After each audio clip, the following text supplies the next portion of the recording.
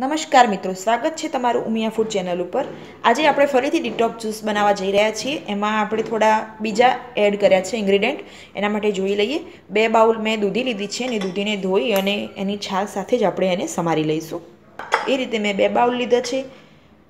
બીટને પણ બરાબર સાફ કરી અને આ રીતે એની છાલ સાથે જ આપણે સમારી લઈશું.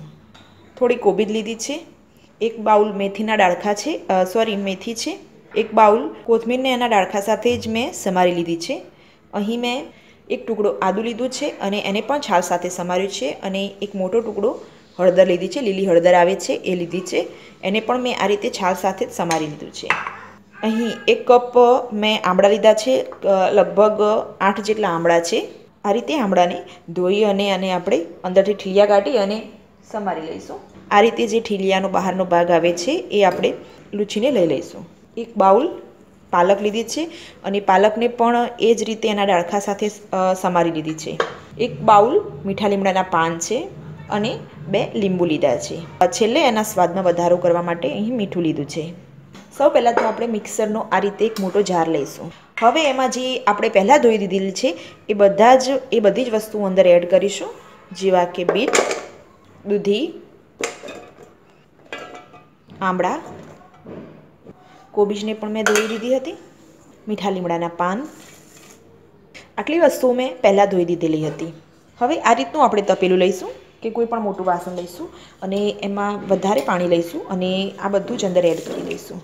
જે ધોવાનો છે, ભાજી, એ બધું એડ કરીશું અંદર. અને મેથી.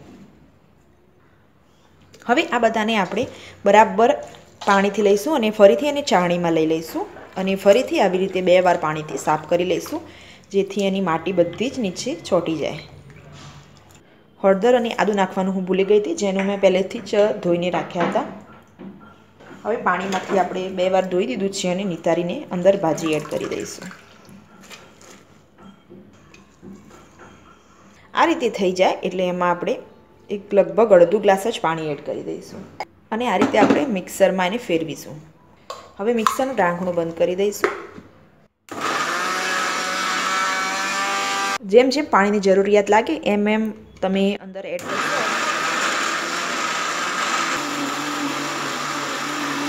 હવે ખોલીને ચેક કરી લેવાનું. થોડું પાણી એડ કરીશું, જેથી એકદમ સરસ ક્રશ થઈ જશે. ટોટલ આપણે એકાદ આટલા પલ્પમાં એકાદ ગ્લાસ પાણી એડ કરીએ, તો એનું પરફેક્ટ માપ થઈ જાય.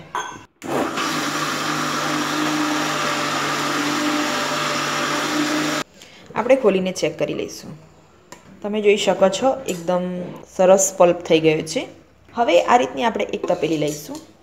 અને એની ઉપર આ રીતે એક કાણાવાળી ગરણી આવે છે, એ મૂકીશું. મોટા કાણાવાળી ગરણી લીધી છે મેં અહીં.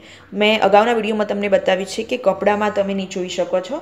અને કપડામાં નીચોવશો તો અંદર રેસાઓ નહીં આવે. અને જ્યારે તમે આમાં નીચોવશો તો મોઢામાં રેસાઓ આવે છે. અને કપડાં કરતાં જે ગરણીમાં આપણે નીચોવીએ છીએ, એટલે કે જે એનો રસ ગાળીએ છીએ, એ થોડો કસવાળો વધારે હોય છે. આ રીતે આપણે થોડો પલ્પ લઈશું અંદર. અને આ રીતે પ્રેસ કરતા જઈશું. જેથી બધો જ રસ અંદર ઉતરી જાય.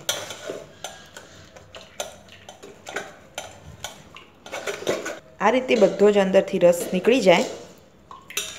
પછી આ કૂચાને આપણે લઈ લઈશું એક સાઈડ અને એ જ રીતે બીજો પલ્પ એડ કરીશું. સેમ એ જ રીતે આપણે રસ કાઢી દઈશું નીચે. છેલ્લે આ રીતે આપણે જગમાં પણ એનું બધું બધું ગ્લાસ વેડીશું અને બરાબર લૂછી દઈશું. જેથી એનો બધો જ કસ અંદર આવી જાય. આ રીતે ક્લીન કરી દઈશું જગને એકદમ.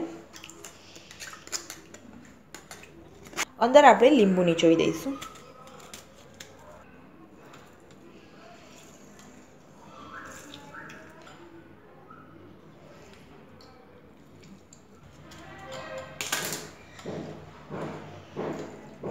બધો જ રસ અંદરથી લઈ લઈશું. સરસ મજાનો રસ તૈયાર થઈ ગયો છે. છેલ્લે એમાં તમે સંચળ એડ કરી શકો, સ્વાદ માટે મીઠું કરી શકો છો કે સિંધાલું કરી શકો છો. અહીં હું મીઠું કરું છું એ. અને આપણે એને હલાવી દઈશું અને પછી સર્વિંગ ગ્લાસમાં લઈ લઈશું. તૈયાર છે મિત્રો સરસ મજાનો ઉડીટોક જ્યુસ તમે પણ આ રીતે ઉડીટોક જ્યુસ બનાવીને તમારું વેઇટ લોસ કરી શકો છો કે શિયાળાની સરસ મજાની ઠંડીમાં તમે સુંદર તાજગી મેળવી શકો છો. જો તમને મારી આ ડિટોક્સ જ્યુસની રેસીપી પસંદ આવી હોય, તો મારા વિડીયોને લાઇક કરો શેર કરો અને મારી ચેનલને સબસ્ક્રાઈબ કરવાનું ભૂલતા નહીં. ધન્યવાદ.